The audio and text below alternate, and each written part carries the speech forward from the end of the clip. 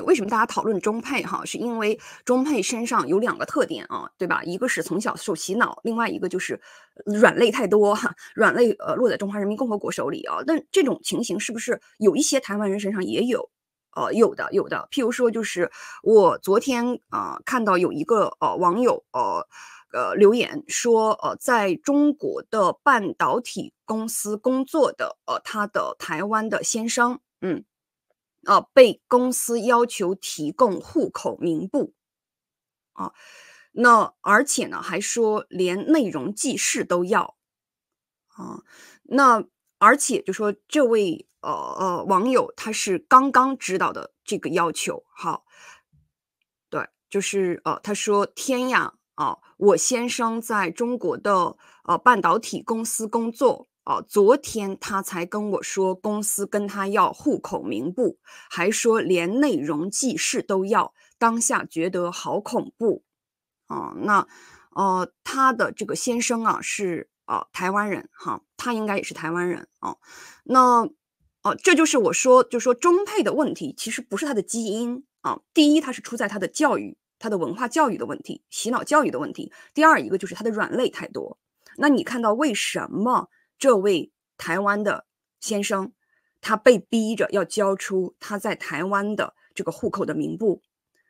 你不交会丢工作吧？我猜是这样。你如果不交，有可能会丢工作。那至少是有几率会被呃这个公司就是穿小鞋，至少是有很大几率的啊。那因为呃，你想肯定是中就中国公司闲着没事儿不会。呃，就是想要调查你全家，好吧？这背后是中国共产党，对吧？一定是中国共产党要求说好了，就是所有的呃有台湾员工的呃半导体公司，甚至有可能是所有的公司，你们要把你们公司的台湾人的台湾的户口本给我交上来。好，假比如说你这公司有一百个台湾人啊，假比如说交了八十本户口本，那其中有二十个人看到我这个贴文说不能交，哈。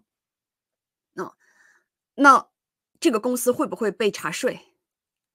是不是政府市政府一个电话打过来说你怎么就交了八十本，剩下二十本哪去了？啊，你要是不把剩下二十本交上来的话，我来给你查税，知道吧？啊，你的那个消防有没有问题？呃，这个是不是有这个违法的行为？啊，对吧？就就来整你嘛！啊，那这个压力给到这个中国的公司，中国的公司就会把这个压力给到这个台湾人。这个台湾员工，他一开始可能就是说我我让你逼着你加班呐，呃，逼着你调职啊，到最后有可能就是说你要不交户口本，我让你你你就走人啊，你你你就被逼辞职啊之类的。这就我说就是中配的问题，就是说你有软肋在中华人民共和国手里嘛。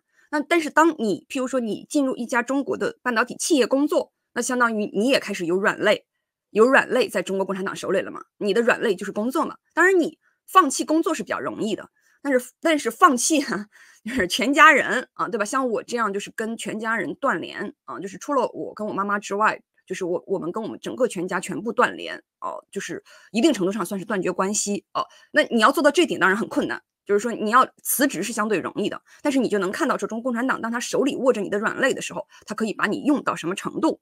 嗯，那再一个就是就是我现在能稍微能知道就是为什么我。最近这几则关于呃中配被中国共产党训练组织，哦，那安排在台湾呃从事各种呃为中国共产党服务的这些呃工作的时候，嗯，就是为什么我那个影片会招致那么大的网军的反应？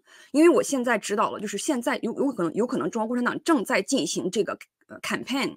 就是应该是中国朋友都知道，我跟台湾朋朋友说一下，就是说中国共产党一概他做任何事情他都是运动式的啊，就譬如说严打他也是运动式的哦，对吧？他整维权律师就整了个七零九大案子也是运动式的，就是它上面有一个政策下来，就是说我们现在开始要全力的推行这个政策。那么我个人猜测就是我恰巧撞到了中国共产党推动，嗯，运用中配和。运用这个，呃，任何能够接触到台湾人的这个场合或者机会，哦，那去在台湾各个层面埋藏，哦，他的信息源、他的间谍啊、他的情报员，那包括收集各种资讯，他应该是现在共产党正在做这个很大的这个 campaign 啊。那这个 campaign 它不只是包含中配，就像我说的，你譬如说为中国公司工作的台湾人，你这不就有软肋了吗？你有软肋，他就可以要挟；你有软肋，他就可以他他就可以要这些户口本了，对吧？他是应该是他正在做这个 campaign 啊，他正在做这个大的这个计划。那然后。结果刚巧，我就把这个计划一定程度上是揭穿了，对吧？因为我我来告诉大家说，中国共产党正在寻找任何可能接触到台湾人的场合和机会，呃，无论是透过相亲，还是透过色情产业，还是透过台商、台干啊，你看这种为中国企业工作的台湾人啊，就说他在运用所有可能的接近台湾人的场合啊，以某种方式掌控台湾人啊，中配是一种。啊！但是你让台湾人为中国公司工作，这不也是另一种吗？啊，一样的啊。那然后透过这个脉络啊，来掌控啊台湾人的呃一些资讯，譬如说你的户口本的资讯哦，你然后从这个东西进入它的整个的一个大数据，从这个大数据中再往下去找谁能为它所用。那那我整个揭露的中国共产党正在做的这个 campaign。才会招致直接的网军的这种大量的这种攻击哦。其实我现在真的很佩服我妈，因为我刚刚发现我被网军呃留言攻击的时候，我跑去找我妈，我妈说你是不是撞枪口上了？就是，就我妈第一个反应就是说你是不是撞枪口上了？就是说就说国民党在推中配入籍年限六改四嘛，你是不是突然撞到某个就是某个某个共产党的这个大行动的枪口上了？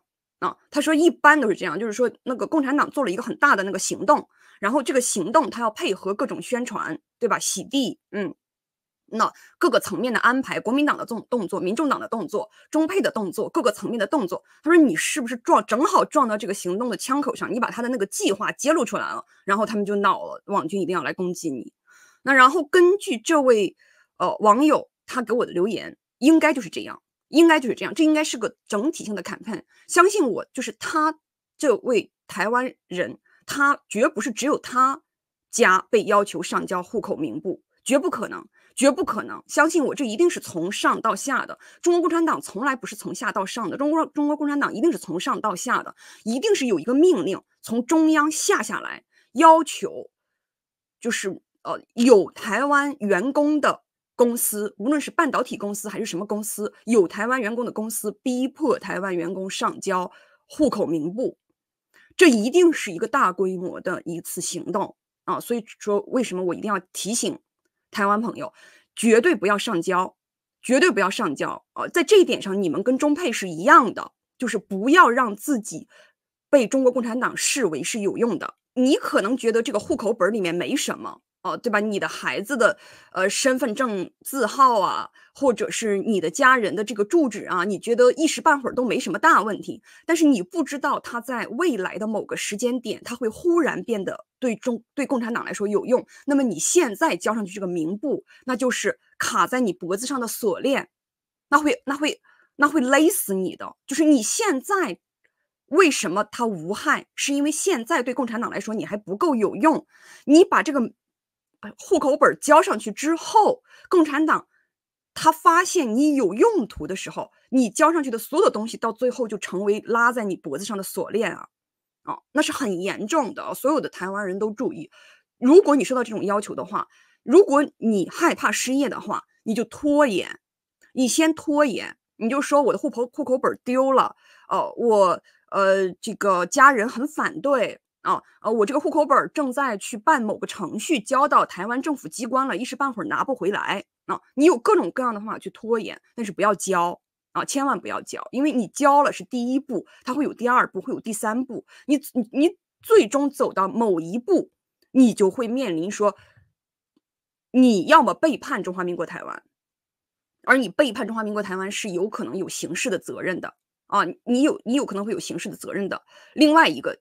就是你有可能，那都不单纯是失业的问题，知道吗？就共产党掌握你的东西越多，他能威胁你的东西越多，那就不只是失业的问题了。你现在脱身可能只是失业，最惨也不过就是失业，啊，或者是被领导穿小鞋。